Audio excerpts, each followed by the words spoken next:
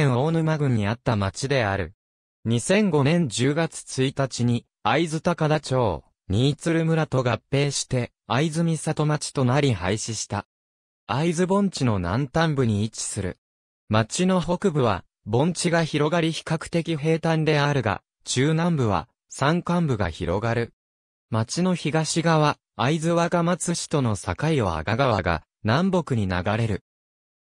道庁と合併された新鶴村では、1954年以来、簡易水道を敷設して管理を行ってきたが、1963年5月、深夜式水源地が汚染され赤痢病が発生し714名の罹患者を出し、金田敏夫新鶴村長を筆頭とした村当局は、原因究明、整備、補強工事等の危機対応にあたり、調査の結果、当該水源地は安全上問題があり、その代替として2期、仏沢領地区に安全性に優れた水源地を見出し、金田敏夫新鶴村長のもと、参院、建設委員長等歴任の大河原和宇ぐ、参議院議員と連携して国会に請願した簡易水道不設被国庫補助に関する請願が1963年12月21日に受理され、その結果、大規模測量、大規模工事を要する大事業であった、